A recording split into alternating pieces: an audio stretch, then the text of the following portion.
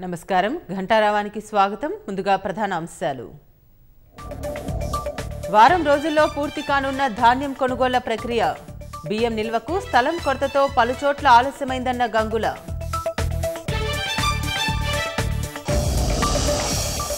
సంగారెడ్డి జిల్లాలో నకిలీ సోయాబీన్ విత్తనాలు పట్టివేత. మూడు పాయింట్ ఏడు టన్నులను స్వాధీనం చేసుకున్న అధికారులు.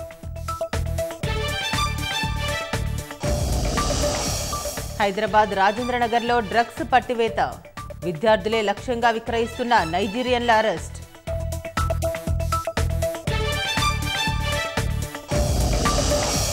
రుణాలు ఇప్పిస్తామంటూ మోసగిస్తున్న ముఠా గుట్టురట్టు.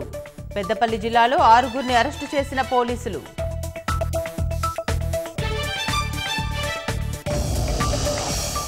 ఢిల్లీలో విషతుల్యంగా మారుతున్న యమునా నది. ఫ్యాక్టరీలు ఇళ్ళ నుంచి వచ్చే వ్యర్థాలతో కలుషితం.